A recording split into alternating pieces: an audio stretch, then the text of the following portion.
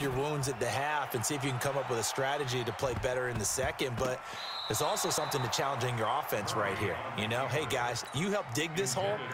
See if you can get us out of it a little bit before the half runs out. Let's go make some plays.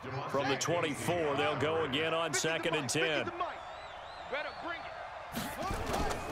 They fake the handoff. Now Murray forced out to his left. Looking for Campbell downfield. He rifles one that's intercepted. Derwin James with a pick. And his guys have got it back at the closing stages of the first half. The rookie was trying to push it downfield, but the safety bit him. And he'll learn that you have to hold the safety. And you do that with your head movement, your eyes, sometimes your shoulders.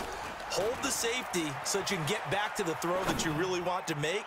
He got so excited thinking... This is caught inside the 15. And he is in. Touchdown.